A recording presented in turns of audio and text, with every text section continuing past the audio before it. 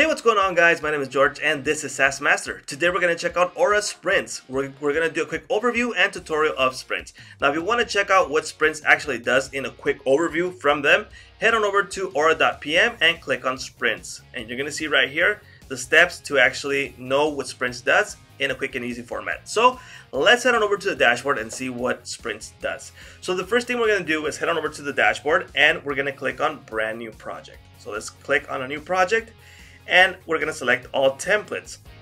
Now this little arrow that you see in a circle, like, like this type of circle, is the one that has sprints. So this one's Scrum. I'm gonna use this one. But you also have another option to activate it, and I'm gonna show you that in, in a minute. So let's just say SaaS Master 2. We can select background, customize, but this video is not about that. We're just gonna select about sprints. And we can also click on include template. If you want to have like a quick template also in it, just click on that. Alright guys, so this is a quick template that we have and Sprints it's up here. But before I head over to Sprints, I want to show you how you can activate it in an already built uh, project or anything else, anything else that you have selected. So let's click on options over here. Sorry, project settings. And here in, in project settings, you're going to head on over to add-ons.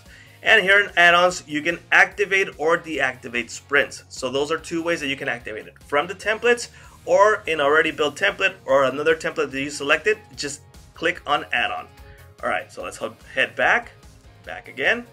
And like I said, this is where you head over to sprints, click up here, sprints, and we're gonna create a brand new sprints. Now, before we get started, we're just gonna say, what is sprints for? So maybe you have a time frame. You gotta do something that needs to be done and you have a time frame and you can't focus or your team can't focus and they need that really like clear thing that they have to do. What's important, what does it have to be done, and just do it. So in this case, we're gonna create sprint one what duration does this have? One, two, or three, or four weeks? In this case, we're just gonna say one week. And when it's done, where do you want it to be placed? In shipped, prioritized, or backlogged? In this case, we're gonna say shipped. Choose tasks. So in this place, remember we have the, the template that we used. We're just gonna use that one. So we're just gonna say UI update, um, integrations, and uh, test. All right, so we got those added. Remember, we can customize colors, backgrounds, and all that good stuff. So once we have those, we can select them. All right, so let's just select these ones that are important. You select the ones that you want. Once that's done, we click we click here on add. So let's add these babies. And next thing we're gonna have to do is modify this. So let's click on each one and it's really important that you set this this right here shows you the effort estimated in story points and business value estimate. So for example, test. Let's just say it was something really complicated. So let's just say the effort for this, it's gonna be like 100 points, right? This is just for testing. And what is the value for this business? So for example, when we get this piece of the job done, how important is it for the company? So let's just say, you know what? It's just one point. So it's super hard and it's only one point at estimated value for the company, right? Select that one. All right, close that one. Integrations, same case. So we're gonna say, you know what, the effort for this one is eight and the value for the company is five. These are just examples, set that. The UI update, so let's just say, you know what, it's, it's 13, but the estimated value is like 40. You know what, people are just asking for this and I want to do it because it's going to take the company to the next level, right? And also this one is just really quick. Select this and this, and that's selected. So now that we've done that, we have an estimated of story points F business value points. Now we can also view this over here. Click right here. These are all the changes that have been made to date, but let's click on sprints. So here in sprints is where we're at, gonna actually start this sprint off. So once you've selected who is going to for example, members that are going to work on this, me, and you just add all the members that will work on this. Once you have that done, you select team velocity, no finished sprints yet, yet, so we can start or explore or create a brand new sprint. In this case, we're gonna start it, and you can see we're gonna have analytics for this sprint. And in this case, you can see the information over here, and you can see zero out of 134 points. it's really important that you set the points first and don't modify later because it's going to mess around with the analytics. So that's important. So let's just, we'll, we'll leave it open so you see what's going to happen. So let's just say, hey, you know what? Integrations was fast and quick. We set it to test. See how it starts modifying over here. And now we got 8 out of 134 points. So 8 out of 8, everything that's here. And if we change it to done, see now it's like done, cleared, and sprints are finishing. So you got, we have seven days left to actually finish this job. So it, it's gonna measure the speed and it's gonna pressure you to actually get the job done, you and your team, to finish whatever you said in sprints. So let's just say we finish everything.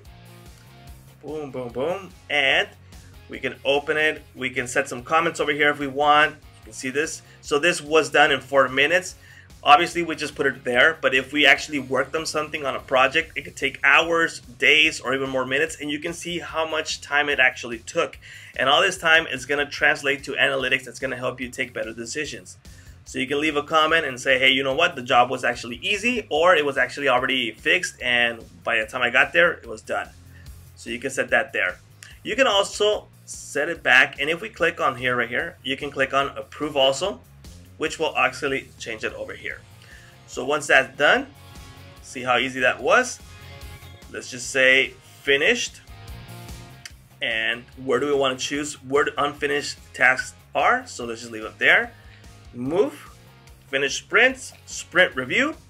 And here sprint review is where we get the analytics of what's going on. Imagine actually working on this like it should, not just this testing purpose, and knowing exactly how you're actually like working along, how your team is working.